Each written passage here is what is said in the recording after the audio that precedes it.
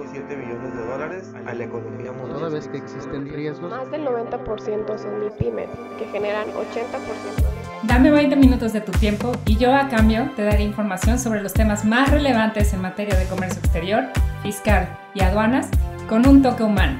Y hagamos un trueque, un podcast de TLC Magazine México. Hola, ¿qué tal? Buenas tardes. Bienvenidos Hagamos un Trueque, una emisión más en, en noviembre después del puente. ¿Cómo están? Por ahí nos pueden ir poniendo, ya saben, a mí me gusta saber de dónde nos están, de dónde se están conectando el día de hoy para que, que nos ven en todo México y en algunas partes del mundo, en Latinoamérica sobre todo. Bienvenidos.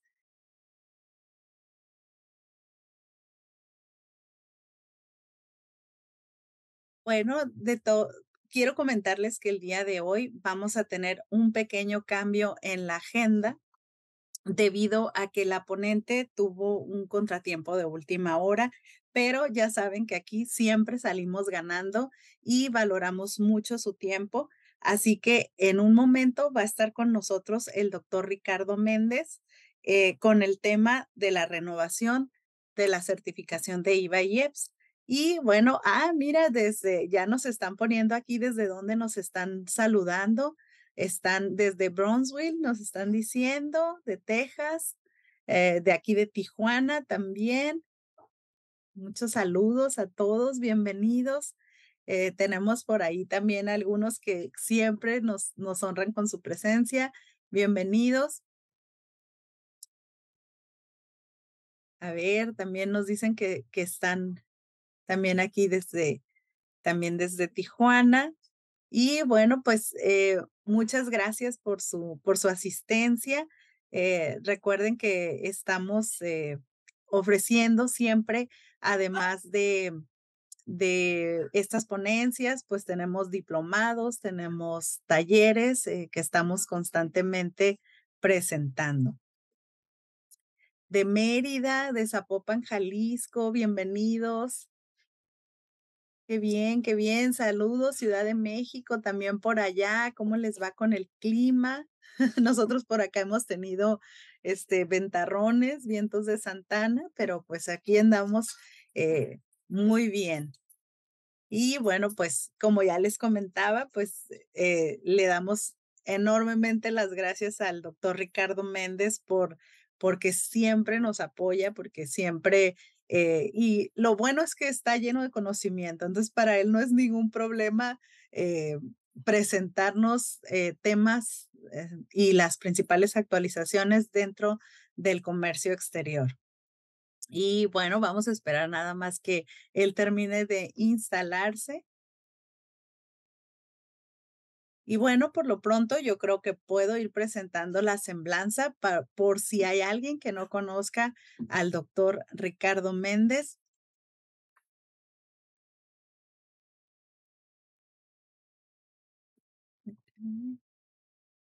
Él es director de consultoría en TLC Asociados. Es licenciado en Comercio Exterior y Aduanas por el TBC, licenciado en Derecho por la Universidad Humanitas, maestro en Derecho Fiscal en la Universidad Iberoamericana en Tijuana y doctor en Derecho Aduanero y de Comercio Exterior por el Centro de Estudios Universitarios eh, Jurídicos eh, de la Ciudad de México. Está certificado en diversos ISOs como el 37001 y 37301. Eh, también tiene otros cursos en el Instituto de Oficiales de Cumplimiento, certificado también en ISO 31000 por la Escuela Europea de Excelencia. Eh, el doctor Ricardo también eh, está capacitado para impartir diversos cursos eh, en competencias conocer, como es el S 1301 y 0707. es expresidente de la Academia de Derecho Fiscal del Estado de Baja California. También participa activamente en el Colegio de Contadores Públicos de Baja California y en otros organismos empresariales, conferencista, profesor de asignatura a nivel licenciatura y maestría en diversas universidades en Baja California. Así como instructor autorizado para impartir cursos de capacitación por parte de la Secretaría del Trabajo y Previsión Social. Es articulista de temas aduaneros y de comercio exterior en TLC Magazine y otras revistas especializadas, autor de nueve libros relacionados con la materia aduanera y el comercio exterior y le doy la más cordial bienvenida. Gracias, Ricardo, por aceptarnos la invitación. ¿Qué tal? Buenas tardes, Lupita. Eh, muchísimas, muchísimas gracias a todos y este, bueno, el día de hoy vamos a hablar de un tema eh, que en este mes pues cobra bastante relevancia porque como sabemos muchas de las empresas que obtuvieron su certificación en materia de IBJEPS allá eh, por el eh, año del 2014, porque esto iba a entrar en vigor el primero de enero del 2015, pues obviamente tuvieron que gestionar de manera previa y, recuerdo en, aquel momento fue incorporado en, en, fases por regiones, básicamente el tema de la gestión de la certificación de EBJEPS.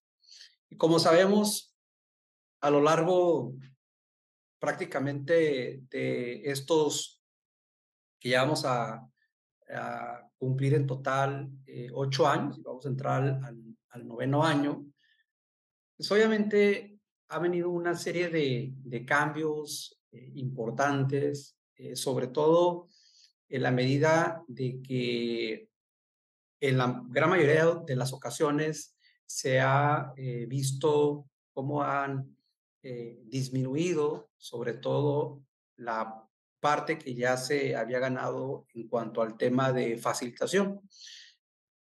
Es decir, eh, si bien es cierto, el, principal beneficio de este esquema es obviamente obtener eh, un crédito fiscal, sobre todo de estos dos impuestos, que es el impuesto agregado y el impuesto especial sobre producción y servicios, que es el principal, porque pues, así lo establece tanto eh, la ley del IVA en su artículo 28A y el artículo 15A de la ley del JEPS, obviamente eh, se habían otorgado pues una serie de, facilidades y beneficios administrativos, eh, operativos y legales.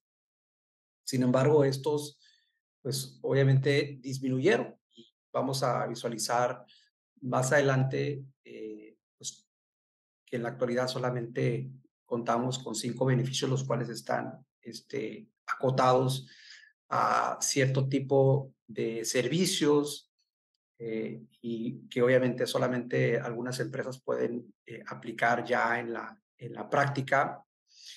Y además de eso, pues también se eliminaron eh, algunos esquemas, por ejemplo, el de devolución inmediata del impuesto agregado, que eso estaba eh, regulado en la resolución miscelánea fiscal.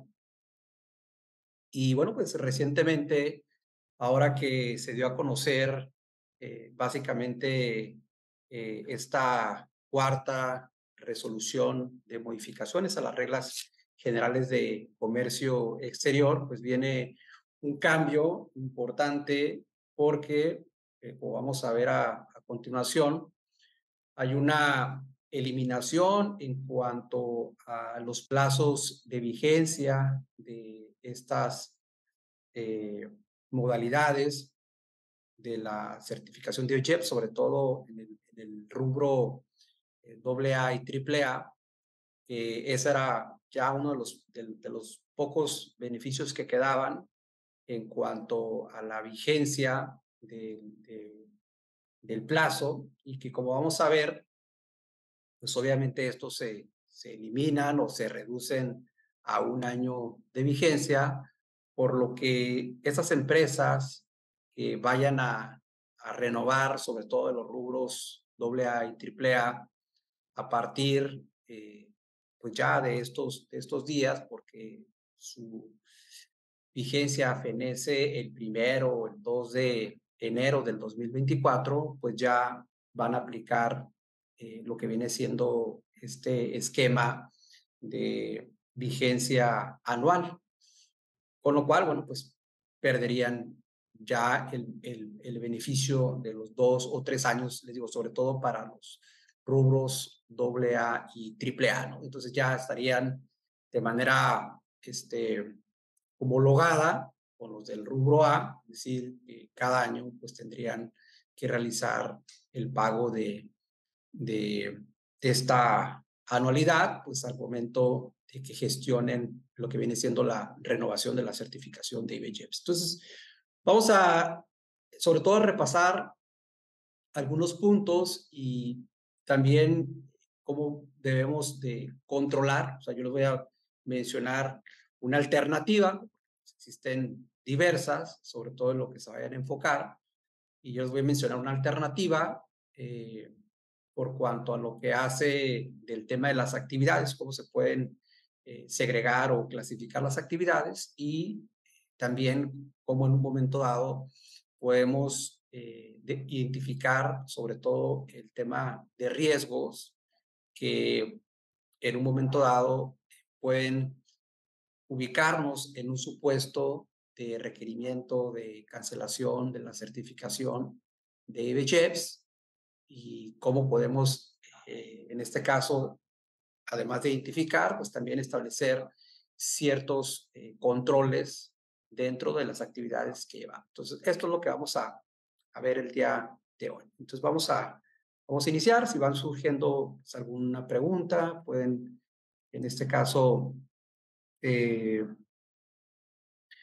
eh, escribir aquí a través del chat. Por ejemplo, ya aquí este, acabo de ver una pregunta.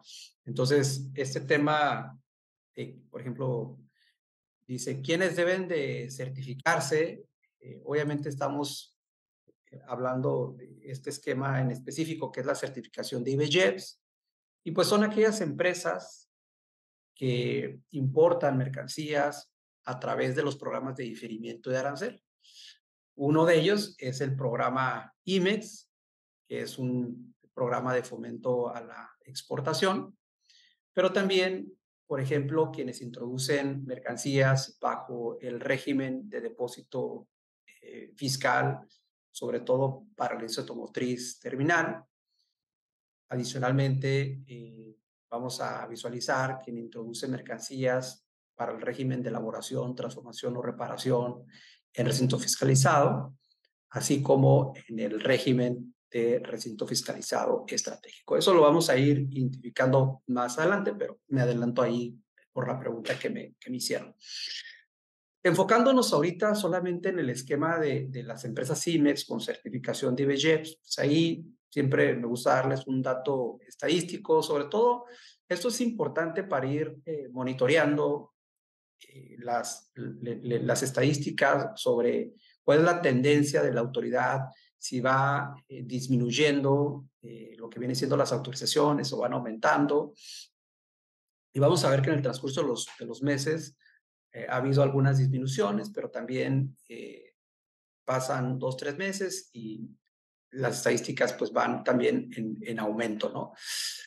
Y aquí les puse las, las últimas eh, que se encuentran ahí eh, publicadas, tanto en el portal del, del SNICE, que es el Servicio Nacional de Información de Comercio Exterior, como en el portal, eh, en este caso, de, del Servicio de Emisión Tributaria.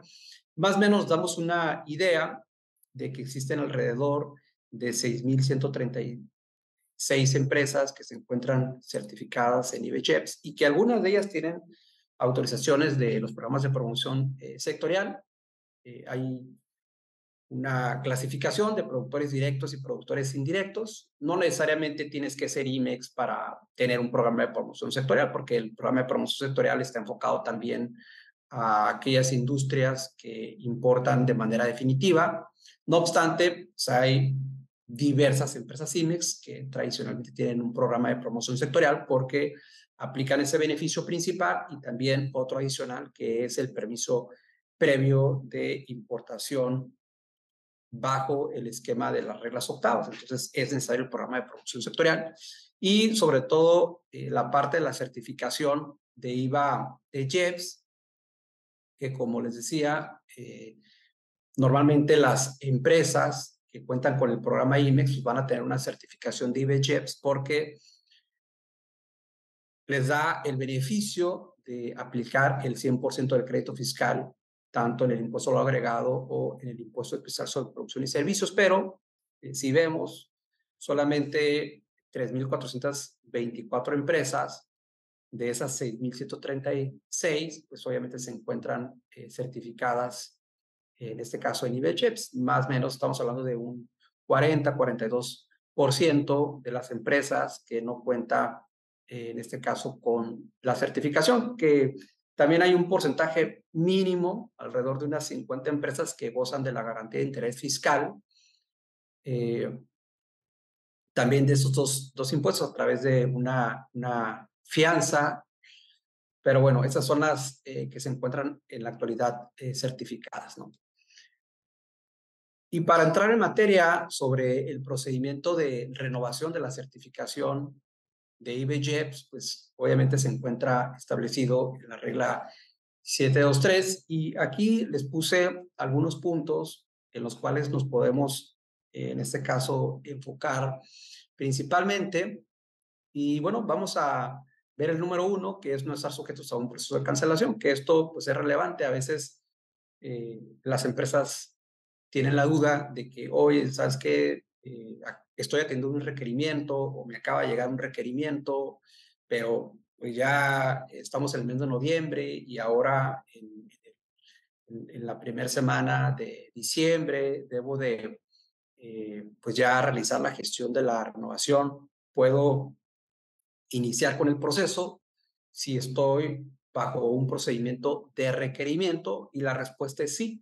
O sea, lo que te establece ese dispositivo es que no esté sujeto a un procedimiento de cancelación, no a un procedimiento de requerimiento de información por parte pues, de lo que viene siendo la autoridad, que es la Administración General de Autoridad de Comercio Exterior. Entonces, sí puedes ser sujeto a un procedimiento de requerimiento durante este, es, ese procedimiento, pues tú vas a, atender, ahorita vamos a ver eh, los puntos clave de los requerimientos, pero puedes atender ese procedimiento sin ningún problema e iniciar el proceso de renovación. Salvo, obviamente, que estés en un proceso de cancelación, porque ahí sabemos que cuando yo ya estoy en, en, el inicio del procedimiento de cancelación, se suspenden las prerrogativas que obviamente eh, te otorga eh, esta eh, certificación. Entonces, ese es el, punto número uno que quiero compartir este, con ustedes. Y bueno, el, el, segundo es presentar mediante la ventanilla única el aviso único de renovación dentro de los 30 días hábiles previos al vencimiento. Y esa es también una parte importante, aunque a veces eh, hay algunas empresas que lo, lo, dejan desapercibido, lo, lo, lo, lo omiten en el sentido de que se les pasa el tiempo, o sea, sí ha sucedido, Alguna vez a lo mejor conocen el amigo de un amigo que le llegó a suceder en su momento o que no le aparece el botón. Pues diferentes argumentos eh, a veces se presentan en, la, en la práctica, pero el punto es que no se cumplió con la presentación de el aviso único de renovación dentro del plazo de los 30 días hábiles al vencimiento. Y esta parte también es importante por lo siguiente. Como ustedes saben, eh, sobre todo en, este periodo eh, se atraviesa eh, lo que viene siendo algunos días que no son este, hábiles, o sea, que son inhábiles, no son laborables. ahí tenemos pues recientemente el, el, el 21 de, bueno, el 20 de noviembre, ¿no? Precisamente el 20 de noviembre, pero eh, después viene lo que, lo que es el segundo periodo vacacional de, del SAT, que es obviamente ante la autoridad que nosotros presentamos este aviso único de renovación. Y uno de los puntos importantes ya en la práctica es que si se fijan, por ejemplo, recientemente a través de una versión anticipada, se dio a conocer lo que es eh, este periodo vacacional. pero como se, dio, como se dio a través de una versión anticipada que se publica ahí en el portal del SAT, de hecho ahorita pueden ingresar y, y, y bajar ahí las secciones que te pone de actualización de lo que viene siendo la miscelánea.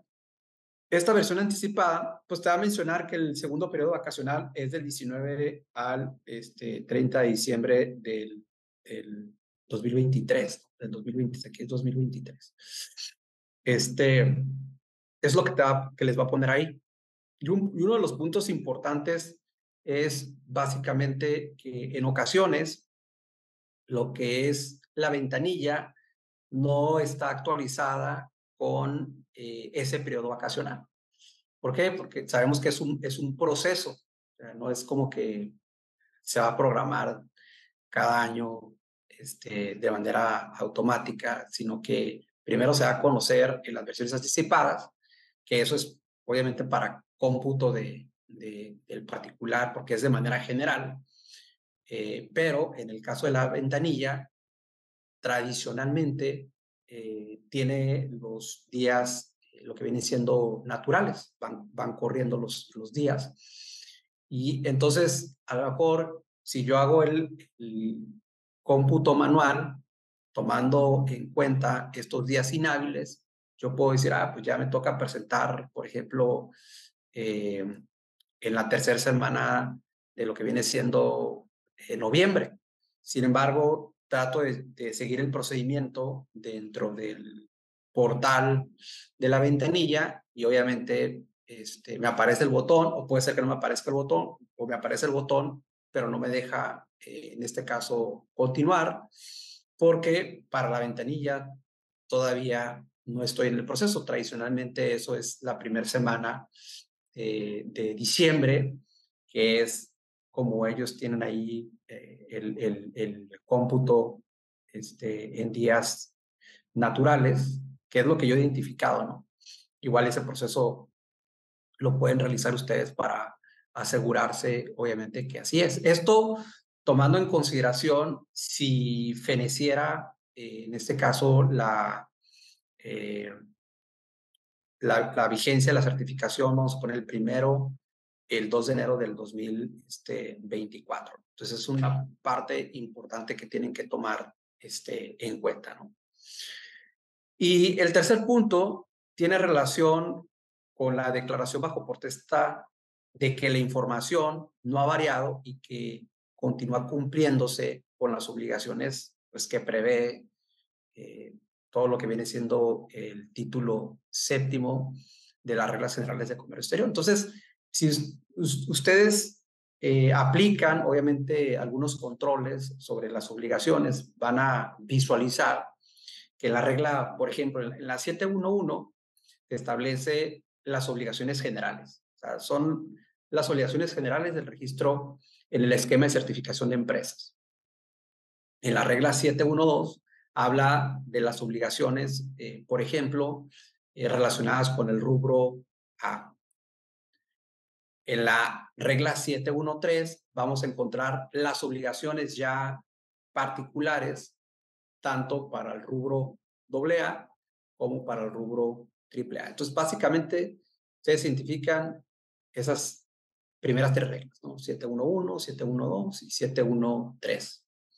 Pero también van a tener reglas específicas una vez que se les otorga la eh, certificación, que básicamente es la de la presentación de avisos, que todo eso está en la regla 721. Entonces ahí, si ustedes revisan, pues ya van a tener ahí esas, esas cuatro reglas que siempre deben de observar. Más aparte, las reglas que establecen los supuestos por los cuales la autoridad en un momento dado me puede, en este caso, requerir o puedo ser sujeto al procedimiento de cancelación, que son las reglas 722 y reglas 724. Entonces, esas ya por default siempre las debo de, tomar en consideración.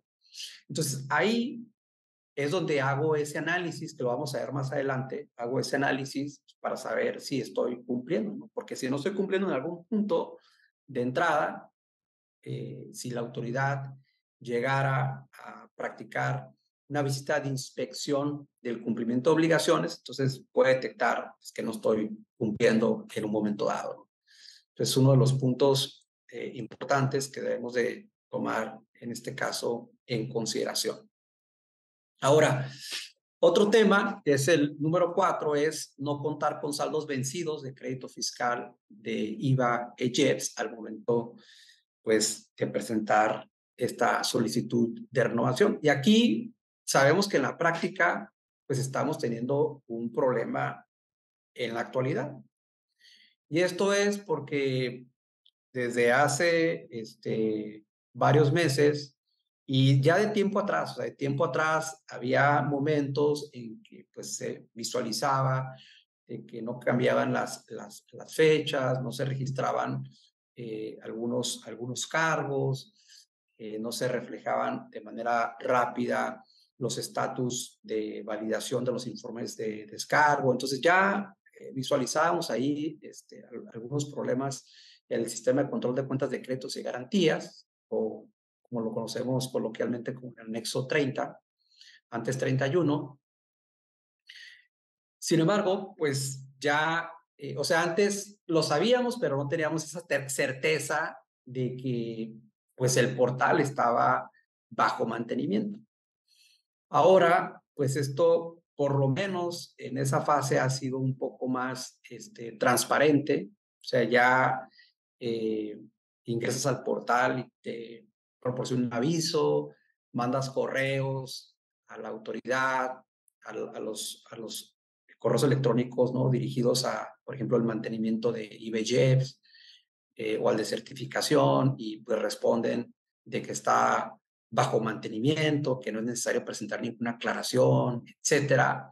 Sin embargo, pues eso es un, eso es un problema eh, que atenta contra, obviamente, el beneficio que te da, en este caso, la certificación, porque evidentemente, al no presentar los informes de descargo, ¿qué va a suceder? Si no presentas un informe de descargo, que es una obligación, pues vas a tener, eh, en este caso, eh, un informe de descargo sin presentar, y eso es objeto pues, de requerimiento. Entonces, a veces están tampoco la autoridad es así como que muy flexible de que, ah, es que no me funcionaba el portal y, que debería de serlo, ¿no? Pero a veces no, no funciona de esa forma. Entonces ahí estamos en un punto de, incumplimiento que una vez que se subsane ese tipo de inconsistencias, pues tenemos que hacer las revisiones este, correspondientes, sobre todo revisar que los estatus eh, se encuentren como validados, porque también puede ser que me marque errores en donde pues que ya fue presentado el informe de descargo fuera de plazo, etcétera. Igual eh, si tienen algún, algún punto de, sobre un mensaje que les esté marcando, pues ahí me pueden este, comentar en el, en el chat. Pero bueno, entonces ahí ese, ese punto está más adelante vamos a ver ahí el, los mensajes, que es lo que marca el portal. ¿no? Seguidamente viene el tema del pago de derechos. Obviamente, este eh, pago de derechos, por ejemplo, en, en, el, 2022 fue de 33.004 pesos, después cambió a 35.575 pesos, ya en 2023 hubo obviamente ahí una diferencia en cuanto al, a los montos de contraprestación. Esto evidentemente va a cambiar. El tema que tenemos es que tradicionalmente eh, lo que viene siendo el anexo 19, donde vienen los importes actualizados de estas contraprestaciones, pues se publican a finales de diciembre, pues no te vas a esperar, ¿no?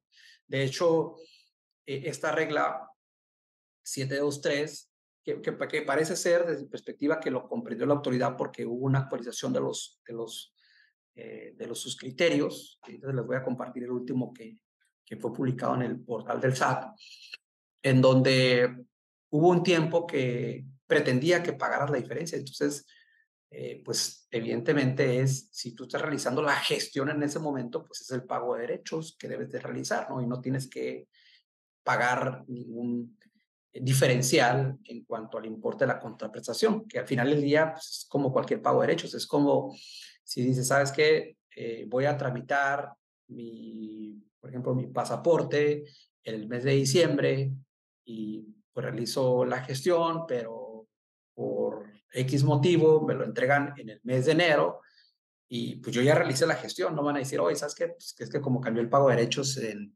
ya a finales de diciembre, pues me tienes que pagar la diferencia por la solicitud del, eh, del trámite del pasaporte, pues evidentemente tú hiciste la gestión durante el periodo de diciembre y es el monto de derechos que, que estaba, en este caso, eh, vigente en, en, ese momento. Y en, en, ese criterio, pues ya se actualizó esa parte y no eh, se publica que tienes que hacer el pago ese diferencial, ¿no? Bueno, entonces, también otro punto eh, relevante que ya entramos al 6 es que una vez que sea presentado este aviso único de renovación, pues obviamente se va a tener renovado al día hábil siguiente a la fecha del acuse de recepción del aviso y la vigencia se computa cuando concluya, eh, obviamente, la vigencia del registro anterior, que tradicionalmente si tu certificación fenece el primero o el 2 de enero del 2024, pues a partir de que fenece eh, esa certificación, pues obviamente empieza a computarse la que gestionaste para, eh, en este caso, el 2024, ¿no? Entonces también ahorita vamos a ver dónde señala esa, esa, esta situación, ¿no? Entonces, también es importante, eh, sobre todo cuando las empresas se encuentran ya certificadas, eh, recordemos que normalmente hay dos, dos supuestos, ¿no? Hay em, empresas o pueden ser tres supuestos. Aquellas empresas que importan mercancía sensible.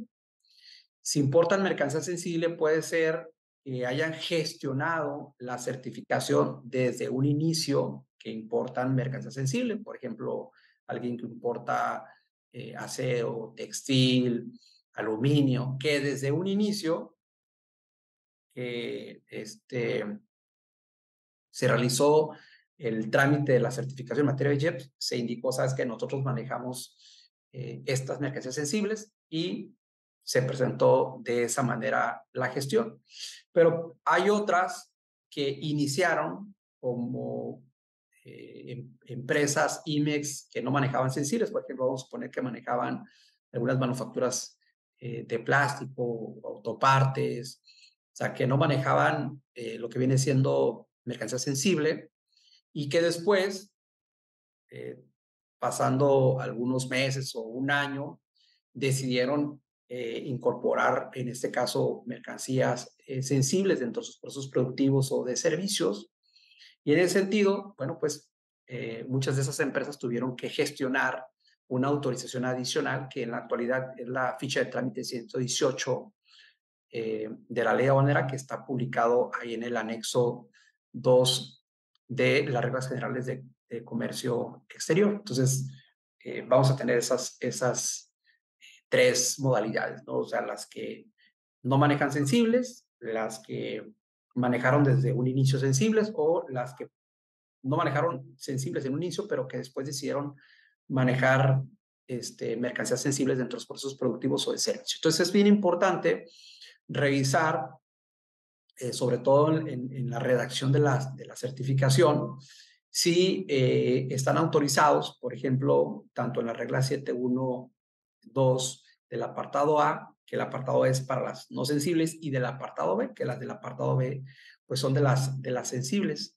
Lo que pasa es que, eh, como ustedes saben, las que manejan mercancías sensibles, se les exige que por lo menos estén operando 12 meses del programa INEX. Entonces, por eso es importante ese, ese rubro. Entonces, puede ser que, eh, por ejemplo, esa empresa del rubro AAA o esta empresa, eh, en este caso del rubro eh, A, pero que de igual manera están autorizados para manejar sensibles. Y cuando no manejan sensibles, te indica que no puedes manejar sensibles. Sin embargo, como tienes esa ficha de trámite adicional, que es la 118, autorizada, pues eso te permite este, manejar sensibles, ¿no?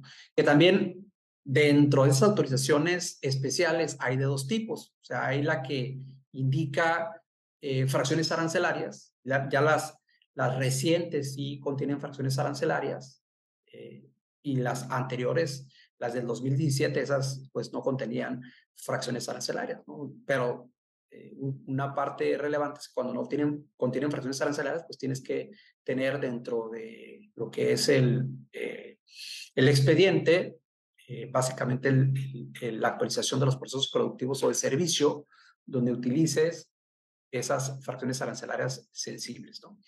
Y eso es lo que les mencionaba en relación con lo que viene siendo ya el procedimiento de la, de la renovación este es un criterio que ustedes lo van a localizar ahí en el portal del SAT. Básicamente los puntos importantes, pues es que presentes lo que ya mencionamos, el, la renovación eh, a través de la, de la ventanilla, que estés cumpliendo eh, sobre todo con todos los eh, requisitos y que vincules sobre todo la parte que tiene que ver este, del pago, del pago en eh, la sección pues de donde vienen los datos bancarios. Entonces, esto es, es importante que lo, que lo tomen en, consideración.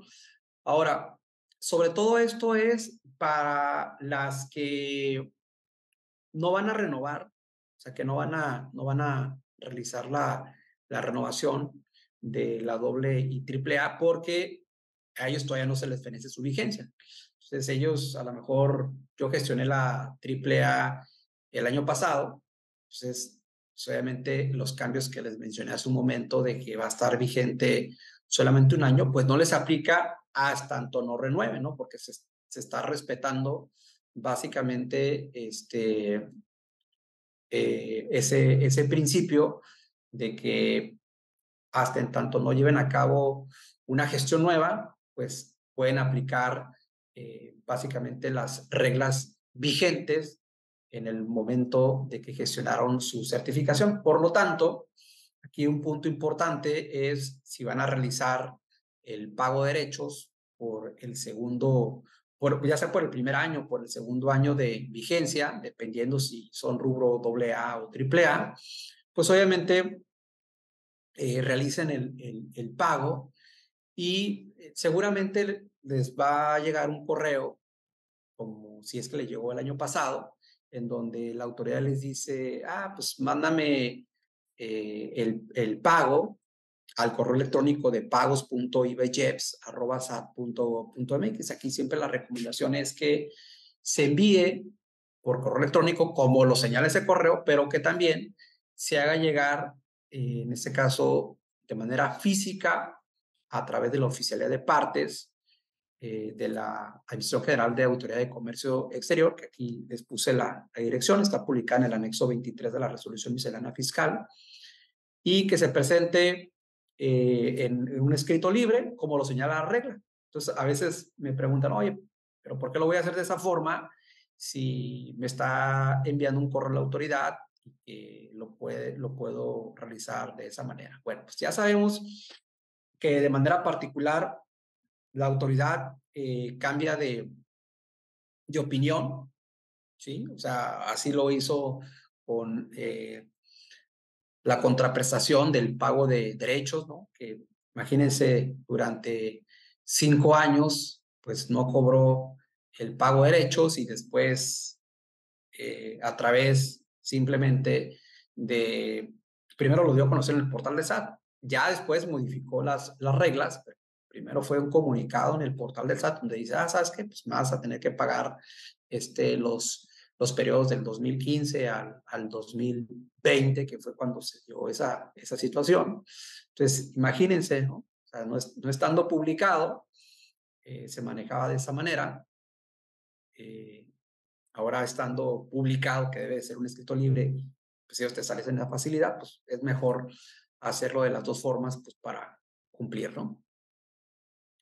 Bueno, entonces aquí ya comentando estos, estos puntos, vamos a ir eh, sobre el tema de algunos de los beneficios. Ya les decía yo que el primero de enero del 2015 entra en vigor esta obligación. Hace un momento me preguntaban sobre el tema de para qué es ese tipo de certificación. Bueno, pues es para gozar de un crédito fiscal en, materia de IVA EJEPS y es aplicable solamente cuando pretende introducir mercancía bajo estos regímenes aduaneros que los mencioné hace un momento, pero ahí está la respuesta. Ahora, un punto eh, relevante que obviamente la autoridad ha estado eh, revisando, sobre todo practicando esas visitas de, de inspección de las obligaciones de cumplimiento y este comunicado, pues obviamente pues, hizo mucho ruido en su momento, pues es de julio del 2023, que seguramente eh, concluyendo el, este segundo semestre, pues se va a volver a dar otro comunicado en donde se indique pues, las acciones que realizó el gobierno, sobre todo en esta materia, que también eh, sabemos, bueno, pues que es el, el, el plan eh, de fiscalización y recaudación, ¿no? Ahora, vean, de esas 503 empresas que cumplieron, obviamente los, los requisitos y obligaciones que establece la certificación, esas 503 empresas, pues se dice que el 75% fueron canceladas, pero cuando, ¿cuánto es el 75%? Son 385 empresas. Y de las que desvirtuaron, que fue el 25%, pues equivale a 125 empresas que lograron desvirtuar. Entonces, pues aquí lo que visualizamos es que, pues en ese momento hubo más empresas que no estaban cumpliendo con sus obligaciones que las que sí estaban cumpliendo. Entonces, siempre debemos de poner especial atención porque a veces solamente eh, identificamos eh, algunas obligaciones que son las que están cumpliendo, pero no este, otras, ¿no? Descuidamos otras, eh, también nos pueden en un momento dado afectar. Entonces aquí está la parte que les digo, que es el beneficio principal, el crédito fiscal, que es aplicable a los tres rubros de la AA y AAA. Y bueno, pues ya les decía que una vez eh, que vayan a renovar, cuando obtengan su renovación, pues ya va a estar aplicando la anualidad solamente de un solo año y van a estar renovando año con año. Si no les toca la renovación y ustedes son doble A o triple A, se mantiene hasta en tanto, pues no vayan a gestionar una renovación. Una vez que presenten su solicitud de renovación, a partir de ahí empiezan a aplicar las nuevas disposiciones, que son las que otorgan un año de vigencia. Y el importe de pago de derechos al momento, les decía, es de 35.575 pesos. Seguramente eh, el próximo mes, la tercera semana, muy probablemente, de diciembre ya eh, se modifique lo que es el anexo 19 y veamos reflejado el nuevo importe de la contraprestación. Pues aquí vamos a tener eh, básicamente otras otros beneficios, en particular otras facilidades.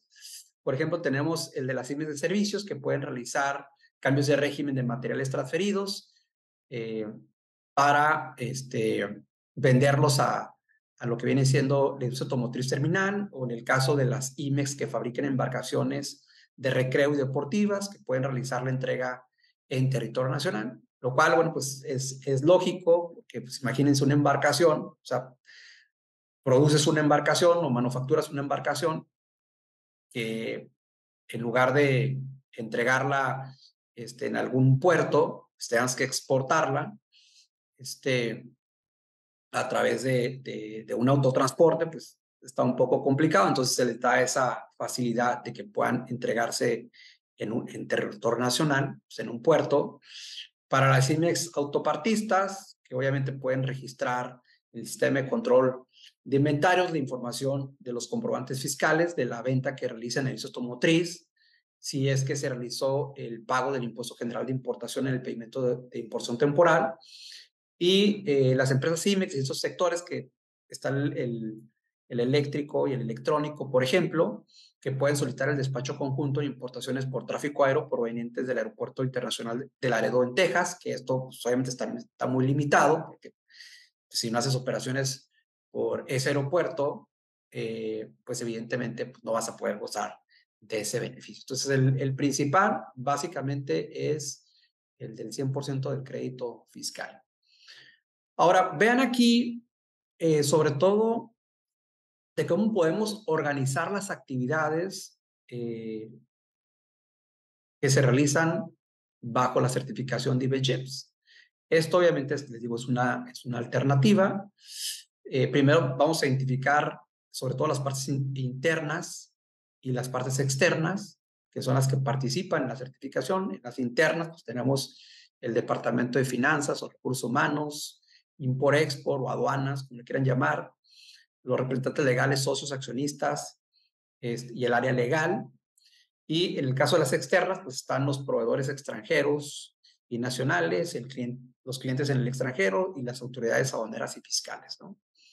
Entonces, aquí yo les puse de manera muy breve, vamos a, vamos a comentarlas.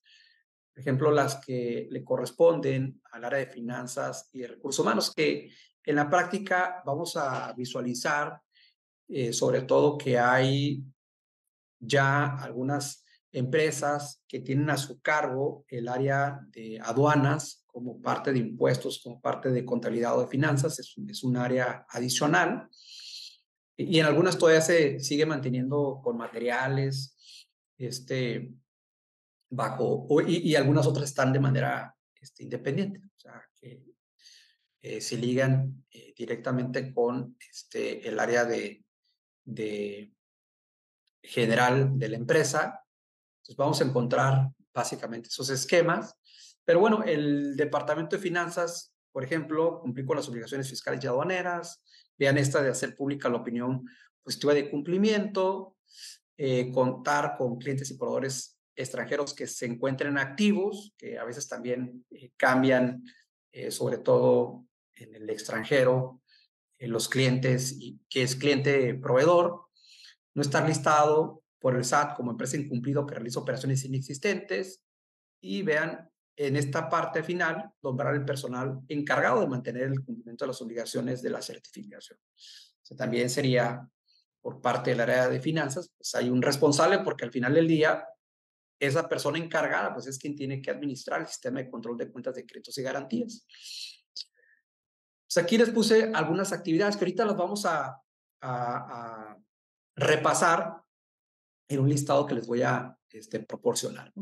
El departamento de aduanas, vean, mantener activo, por ejemplo, los registros, sobre todo el padrón de importadores, el programa IMEX, presentar los avisos del cumplimiento de las obligaciones, verificar, por ejemplo, los porcentajes de retorno que debemos estar eh, en el 60 o más de los retornos de las mercancías importadas, este, en este caso temporalmente, en un periodo de 12 meses, describir las actividades relacionadas con los procesos productivos o prestación de servicios, y básicamente es eh, cada uno de los, de los, puntos, de los más importantes, mantener actualizados los expedientes, que ahorita vamos a ver también el tema de las, de las carpetas.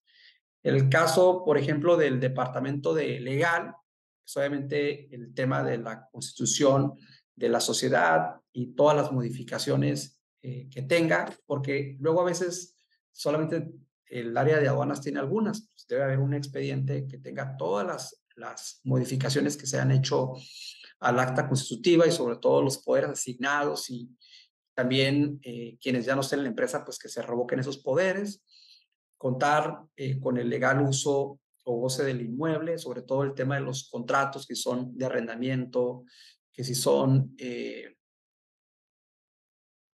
de, de comodato, préstamo, eh, o si hay un título de propiedad, etcétera. También, eh, por, por, ejemplo, atender procedimientos de querella o denuncia penal en contra de socios accionistas, sobre todo cuando tienen otras unidades de negocio, atender procedimientos de inicio de requerimiento por incumplimiento, de procedimientos de cancelación, que tradicionalmente pues esto lo ve el área, eh, en este caso legal, que puede ser directamente por la empresa o con un, con un tercero.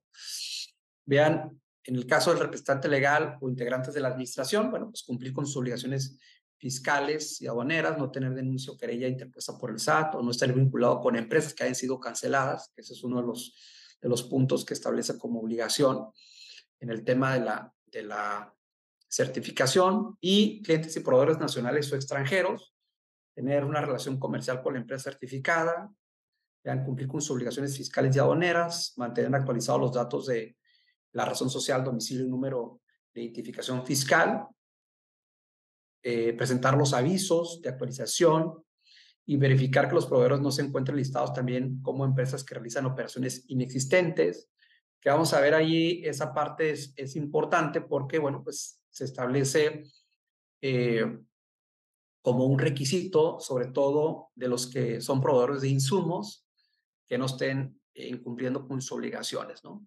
Y el caso de la autoridad, ¿cuáles son sus obligaciones o sus principales actividades? Bueno, pues realizar este, aquellas relacionadas con la autorización, requerimiento, suspensión, cancelación, efectuar visitas de cumplimiento, mantener en funcionamiento el sistema de control de cuentas, secretos y garantías, que pues eso es básico, compartir los movimientos mensuales de los estados de cuenta, por lo menos ahí en el, en el portal, que estén actualizados, y pues también atender las consultas de los contribuyentes vinculados a la certificación de IBGEPS. ¿no? Esa es parte de sus, de sus obligaciones. Y aquí, eh, sobre todo el tema de los socios y accionistas, que es una, una cuestión muy importante que en este caso se tiene que eh, visualizar, sobre todo este, por la parte en cuanto a, a que deben de, cumplir con, primeramente con sus obligaciones fiscales y ya después eh, sabemos que hay notificaciones que se tienen que presentar tanto para el programa IMEX como la certificación de IBGEPS. O sea, no solamente es decir, ah, pues yo voy a cumplir con la certificación de IBGEPS, no, o sea, primero tienes que cumplir las fiscales, después las del programa IMEX y este, seguidamente con la certificación de IBGEPS. Y aquí la parte importante es que tenemos que, eh, sobre todo, vigilar el tema de los, de los, de los plazos, donde, por ejemplo, aquí nos dan 10 eh, días siguientes a la fecha que se realizó el cambio. Y en este otro, bueno, pues primero se realiza el cambio durante un mes, durante el mes que transcurre, entonces tenemos que presentar ese aviso de la 721 en el mes siguiente. Entonces es muy importante también eh, este, controlar esa situación. Eh, otro de los, de, los, de los esquemas este, relevantes, ¿sí se ve la presentación? ¿Sí, verdad?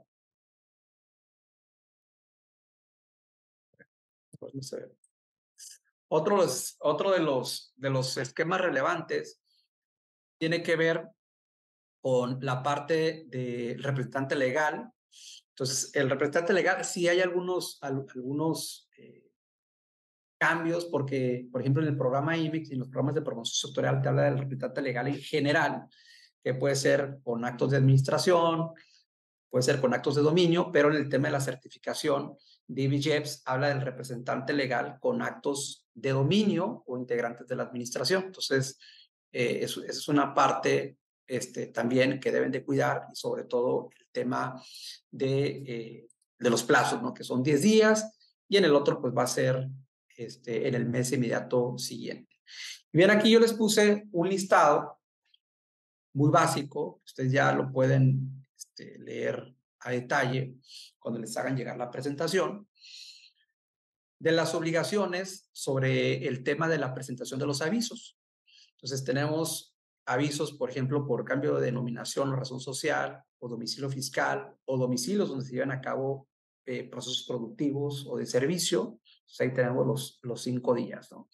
Tenemos eh, otros avisos en donde hay variaciones en el contrato. Por ejemplo, eh, se modifica la vigencia, que era de dos años ahora va a ser de tres años o va a ser de cuatro años, o se modifican las partes porque resulta ser que el, el arrendador eh, vendió y ya es otro arrendador, ya tiene otro propietario, entonces es otro arrendador, entonces hace una modificación. O el tema del domicilio, hubo una modificación en el domicilio eh, y se va a modificar el contrato, entonces hay que presentar una actualización de esa parte. La actualización de la contraprestación, que también es muy importante el tema de las fusiones, eh, y se los voy a eh, exponer de la siguiente forma, miren. Cada uno de los escenarios, por ejemplo, el 4, el 5 y el 6, lo, lo represento de esta manera. Si que aplican tanto para la OEA y para la certificación de IBGEPS. ¿eh? Por ejemplo, si esta empresa es la fusionante, esta es la fusionada, o sea, esta es la que quedó, la sociedad A se fusionó con la sociedad B, pues obviamente la que subsiste es la que presenta el aviso, el aviso ante la GASE. En este otro escenario, el 2, o sea, son esas dos empresas que obviamente se fusionan y crean una nueva entidad, que es la, la sociedad C. Esta, obviamente, es la fusionante, pues en este caso, como esta no tiene certificación, esa es la que tiene que presentar la solicitud inicial ante la GASE y se pierde la certificación, porque esas dos eh, se unieron y crearon otra tercera y esta pues, no tiene certificación.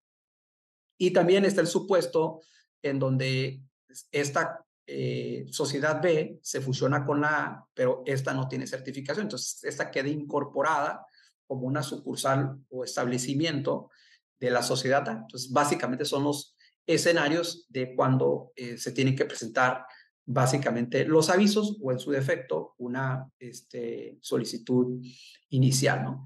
Luego tenemos los avisos de los socios accionistas, miembros o integrantes, eh, en este caso, de la administración. Entonces vean eh, lo que les mencionaba, ¿no? Esto se presenta mediante BUSEM, el mencionamiento siguiente, o los avisos de clientes y proveedores eh, extranjeros, o cuando son proveedores nacionales, también eso se presentan a través de, de la BUSEM. Y obviamente, cuando ustedes presentan un aviso, o en su caso, les llega un requerimiento porque eh, hay dudas con el tema del aviso y tienen que subsanar, les van a dar 20 días.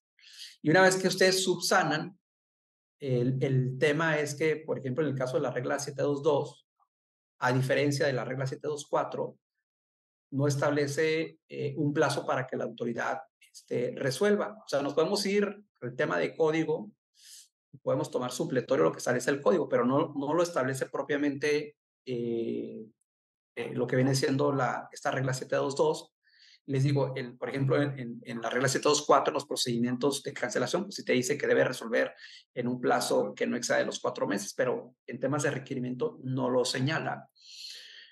Entonces, una vez que se presenta la respuesta del aviso, pues obviamente este, entendemos que ya cumplimos, sin embargo, la autoridad eh, debe de, resolverlo. Desde mi perspectiva, se aplicaría, como les digo, código fiscal, pues ahí son básicamente el tema de los tres meses. Bueno, vean, aquí, en concreto, de cada uno de los puntos que les, les, menciono, eh, es bien importante que nosotros tengamos esas carpetas, porque básicamente son los expedientes que va en un momento dado a solicitar la autoridad en, una visita de inspección del cumplimiento de las obligaciones. Entonces, se establecen 20 puntos, 20 puntos. Tradicionalmente menciona 19 para los que son A, pero cuando eres doble A o triple A, te menciona un, un, punto adicional porque trae unas obligaciones específicas de lo del tema de antigüedad, del, de la cantidad de empleados eh, contratados o en su caso tema de los montos de activo fijo con los que cuenta la empresa. Porque te pide, en este caso, los eh, 50 millones, los 100 millones este, en valor de activo fijo. Entonces es importante ahí que lo, que lo, lo tomen en cuenta. Todo lo que viene en la regla 713, ¿no? Entonces, vean el acta constitutiva, el tema de control de inventarios, la cuestión de pedimentos, el tema de los desperdicios, qué hacen con los desperdicios, de inversión en, territorio nacional, el programa IMEX, el comprobante de domicilio, identificaciones, sobre todo de los que tienen la, la, la visita, algunos anexos que pide o cuando forman parte de un grupo, el tema del, del domicilio, el proceso productivo, la infraestructura, el proyecto de exportación, los avisos que se hayan presentado, la estructura organizacional, la relación de clientes proveedores, proveedores nacionales y eh, también los empleados. Obviamente, en cada punto, pues se tiene que acreditar con un documento. ¿no? Si hablamos del acta constitutiva, ¿con qué lo acredito? Pues con el acta constitutiva y sus modificaciones. Si hablamos, por ejemplo, del 15, de los avisos, de la 721, ¿cómo lo acredito? Pues con los avisos que ya presentado en la UCE, ¿no? Con los este, los proyectos de exportación. ¿Cómo acredito en los proyectos de exportación? Bueno, pues puede ser con el contrato de maquila, con el contrato de prestación de servicios, con el contrato en consignación, puede ser a lo mejor un, eh, eh, hay quienes manejan este, los, los, los, los PO, los este, órdenes de, de compra. El chiste es acreditar, o puede ser también el contrato eh, de, eh, internacional de compraventa de mercancías. Entonces, eso va a depender, obviamente, del, del, supuesto, ¿no? Si estamos hablando de pedimento, pues, ¿cómo lo acredito? Pues con pedimentos. Eh, control de inventarios, pues con el reporte que me exijan del sistema de control de inventarios, del destino de las mercancías importadas temporalmente, es decir, una relación de las importaciones temporales y este, obviamente el destino que les di, si fue retorno, si fue transferencia, si fue cambio de régimen, etcétera, etcétera. Entonces, esta parte es, es relevante. Ahora, vean, a mí siempre me gusta, eh, sobre todo, esto lo podemos aplicar de manera muy específica al tema de las carpetas, así, eh, y de forma general, si estoy cumpliendo o no estoy cumpliendo, ¿sí? Entonces, yo voy a tener el listado de las obligaciones y hay una evaluación muy sencilla que yo puedo realizar, ¿no? lo puedo tomar en cuenta por, digo, por las carpetas. Entonces, si yo identifico esas, esas obligaciones eh, de los expedientes que debo tener, entonces es muy sencillo tener una fórmula, ¿no? Obligaciones cumplidas entre el total de las obligaciones y obviamente eso me va a dar, lo multiplico por 100, me va a dar un porcentaje. Ese es un KPI o, o un, eh, índice clave de desempeño. Básicamente, saber si estoy cumpliendo, qué porcentaje estoy cumpliendo. Pero eso a veces, a mí lo personal, el tema de los KPI, digo, es un indicador, pero pues no me dice cómo estoy, ¿no? A lo mejor me dice, eso es el 90% bien, sí, pero pues el 10% que estoy mal, pues es lo que me puede generar eh, un requerimiento o el inicio del procedimiento de cancelación, ¿no? Pues entonces ese 10%, o sea, es, es este, es importante. Independientemente de que el 90% pues esté cumpliendo.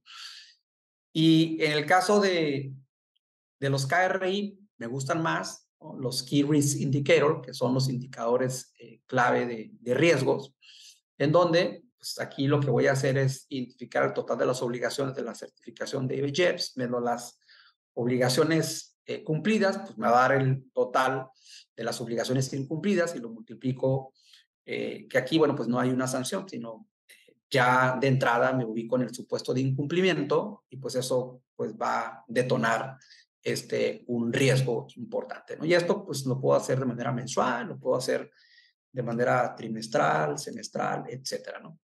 Y ya para ir concluyendo, vean, esto ya si yo quiero hacerlo más a detalle, digo, hay empresas que tienen a lo mejor un software, por ejemplo, en el caso de Teles Asociados, pues, estos procedimientos eh, los realiza de manera este, sistematizada, con base eh, la información eh, que se tiene de los, los clientes, pero digo, hay empresas que, y sobre todo las áreas de cumplimiento, que pueden decir, ah, sabes que pues lo voy a hacer manual, lo quiero a lo mejor muy sencillo, pues utilizo este esquema, ya me da este, algunos, algunos puntos generales o eh, lo quiero hacer de esta forma, un poco más elaborado, en donde voy a determinar el riesgo inherente o riesgo bruto por la probabilidad este, y la consecuencia, en donde debo de hacer estas tablas. Esas tablas, pues obviamente va a ser acorde este, a la actividad que ustedes realizan, pero más o menos pues es, son obligaciones generales.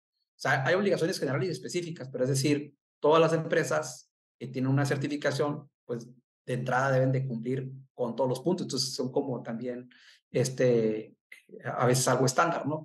Salvo que, por ejemplo, sean un recinto fiscalizado estratégico que adicional deben de cumplir con otros puntos, pero las IMEX, eh, por ejemplo, del rubro A, eh, o doble A o triple A, de alguna manera van a tener este, las mismas obligaciones, salvo el doble A y triple A que tienen otras obligaciones muy específicas este, pero es muy, muy similar, ¿no? Y después pues, están las fórmulas del riesgo residual o riesgo neto, que es el riesgo inherente por la vulnerabilidad, es decir, si efectivamente los controles que yo estoy este, poniendo, pues los estoy en este caso cumpliendo. Y básicamente del listado que les puse hace un momento de las actividades y los controles que la intención aquí, pues obviamente es realizar este análisis a conciencia, ¿no? O sea, no es de que, ah, en ese sí lo estoy cumpliendo, es decir, si lo estoy cumpliendo y cuál es el control que tengo, si tengo la evidencia, ¿no? Por ejemplo, en el tema de la constitución de la sociedad mercantil, tengo el expediente, pues si tengo el expediente, pues estoy eh, cumpliendo y lo tengo actualizado, ¿no? Porque puedo tener el expediente, pero a lo mejor no está, en este caso, con la última modificación. O, por ejemplo, si tengo la opinión de cumplimiento fiscal, o sea, está positiva, si no está positiva, pues no estoy cumpliendo. Eh, si está positiva, bueno, pues en ese mes estoy cumpliendo, ¿no? Porque el, segundo mes o el mes siguiente, pues a lo mejor puedo estar, en este caso, incumpliendo, ¿no? Y así, así sucesivamente voy estableciendo mis obligaciones, las valoro de acuerdo a lo que, que acabo de mencionar y este, evalúo los controles, o sea, si realmente me está funcionando ese, ese, ese control este, que yo eh, puse, si no me está funcionando, pues entonces tengo que modificar en momento dado el, el control.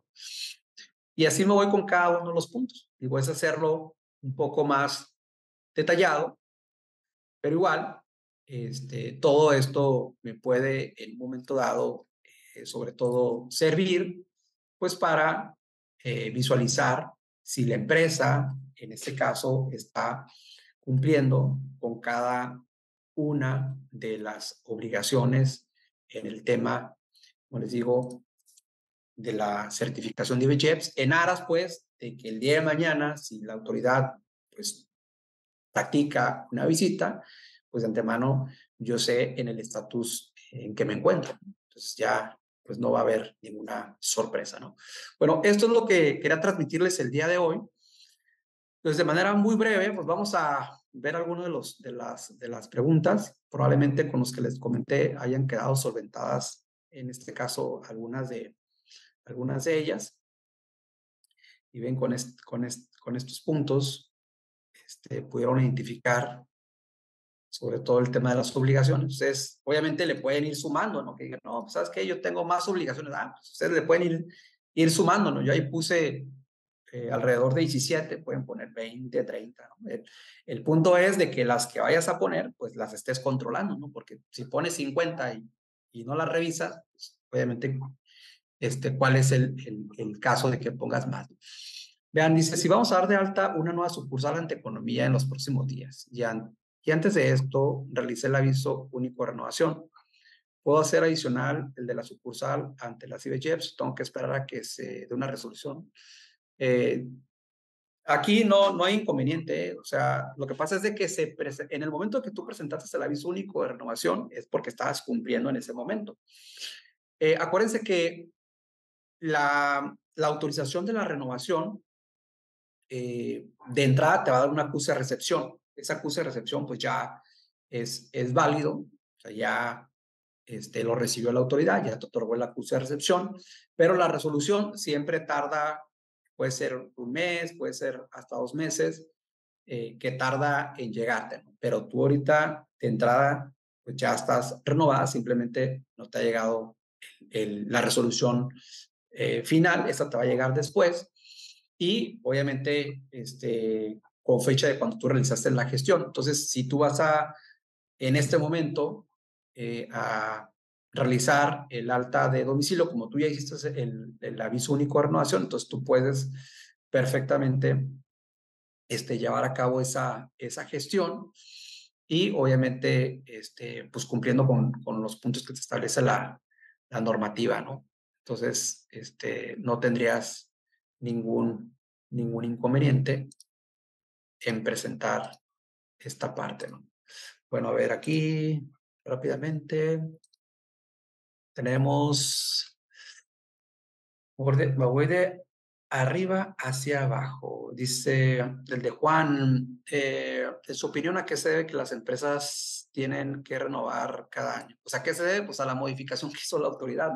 Les decía yo al inicio que poco a poco hemos ido perdiendo facilidades o prerrogativas que en un inicio se habían, en este caso, eh, ganado. Y hay otras que las hemos mantenido ahí que eh, de alguna manera, pues también a través de las asociaciones, eh, organizaciones empresariales pues han este, hecho ver sobre todo este, algunos, algunos puntos este, que a veces la autoridad no tiene razón. Por ejemplo, cuando se dio el tema de las empresas eh, IMEX de servicio, de la modalidad de servicio, que decía la autoridad que estuvo negando y después estuvo cancelando algunas, de que no, pues que no es para el servicio. Oye, pero así se llama el régimen. O sea, el régimen eh, en, en, en, el 108, no en el, bueno, en el 90 de la ley aduanera y en el 108 de la ley aduanera se llama régimen de importación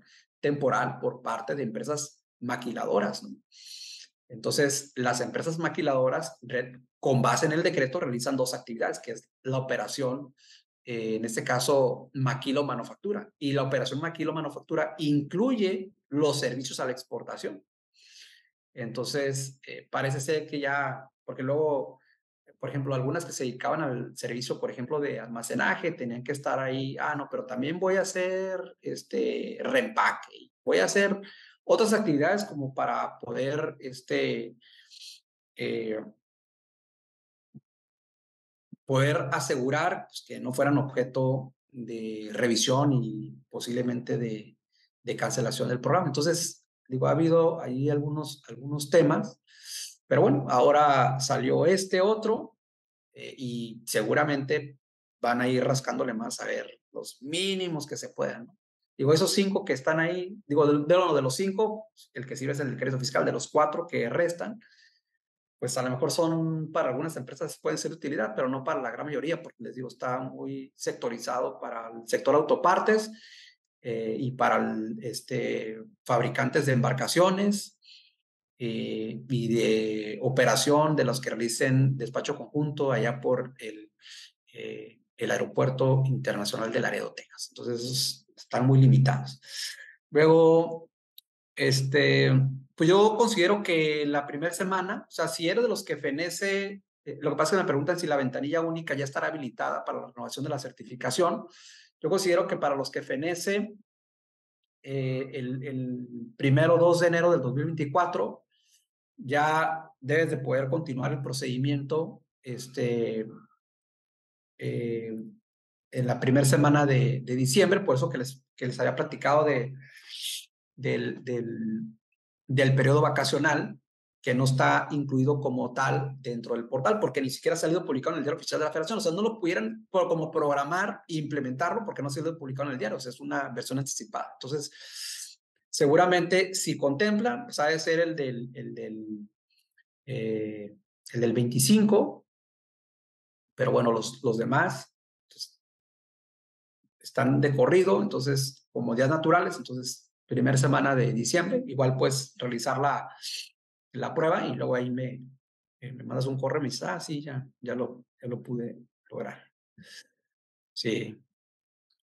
Sí, el del segundo periodo vacacional, sí, ese, esa, es que esa presentación, la, esa fecha la tengo del, del, pasado, pero por ahí también, lo, igual yo también lo compartí en redes, pero ahorita ya no lo pude revisar el segundo periodo vacacional, pero te decía, salió ahí en el portal de, de, del SAT en una versión anticipada. Ajá, sí, eh, sí, la versión anticipada del 18 de diciembre al 2 de enero de 2024. Sí, sí lo que es que dejé un ejemplo del, del, del anterior. Eh, a ver, relación con el pago de derechos, para los que no tenemos que renovar, recomienda pagar este, el, el, el Sí, no, o sea, paga cuando, cuando te corresponde, porque acuérdense que te establece, la regla 721 te establece ahí el, el, periodo de, de, los 15 días. Entonces, una vez que eh, fenece, tienes el plazo de 15 días y, como les digo, enviarlo por correo y, y a la Ciudad de México. Este, ese sería uno de los puntos. Dice, somos AAA, se renovó y se recibió el oficio el 21 del febrero del 2021, pero fue extemporáneo, ya que debía haberse hecho en diciembre del 2020, toca renovar. Se deberá considerar la fecha original o en base a la fecha de la última renovación. Es la última renovación que hayas presentado. De hecho, ahí en el, cuando el folio, con el folio puedes rastrear ahí la ventanilla para que te arroje el el trámite del último que presentaste, es donde va a venir el botón de la renovación. bueno, ya, si pudiera regresar a la pantalla anterior, pues ya demasiado tarde. A ver, dice la renovación en diciembre de 2023, el contrato vence en octubre del 2024, menciona que debe ser un año afecta. A ver, hay, hay dos cuestiones aquí este, interesantes, sobre todo el tema de, de, de la, de, la, de la renovación eh, y de los, de los documentos. Acuérdense que en el trato del contrato de arrendamiento te establece eh, que deben de ser de 12 meses y que por lo menos debe de tener 8 meses de vigencia. Obviamente, si, si tú los has presentado en este momento, pues eh, a lo mejor decir, ah, pues tiene vigencia, pero si la autoridad te va y te revisa en agosto y dices que vence en, octubre del 2024, pues entonces ya le resta, ¿no? Septiembre, octubre, o sea, le restan dos meses de vigencia. Entonces ya no estás cumpliendo con, el, con lo que establece la regla que debe de, ser este periodo de 12 meses y que le reste por lo menos este, 12, eh, o, sea, 12 meses y que le reste por lo menos 8 meses de vigencia. Entonces, esa parte, pues es importante que lo, que lo, que lo consideren. Eh, o sea, no al momento, digo, sea al momento de la renovación, pero también antes de que vaya a fenecer la vigencia de los, de los contratos, ¿no? Porque eso pues lo debes de, de tener, este, en este caso, eh, actualizado, ¿no? Miren, déjenme les pongo aquí rápido, ya para concluir. Sí, el tema de, la, de lo que les puse ahí, lo que pasa es que la, la presentación no había, no había modificado eso, pero digo, era como referencia, pero aquí sí está el, el, el, en este caso el periodo vacacional, que como bien lo, también lo mencionaban ahí algunos colegas, este es el, es el que, el que comprende. Sin embargo, les digo, esta parte no está incorporado en lo que viene siendo la gestión. Entonces, también para que lo tomen en consideración, porque si fuese así, pues, imagínense, o sea, tendrán que contar sus 30 días eh, antes del 18, porque el 18 de diciembre pues, ya están de vacaciones. Entonces, no los toma en cuenta así la autoridad en la ventanilla, ¿no? Yo nomás ahí para aclarar ese último punto. Bueno, pues eh, creo que sería todo. Pues muchísimas gracias. No sé si alguien quiera comentar algo. A sus órdenes. Maestro Héctor, si desea hacer algún comentario.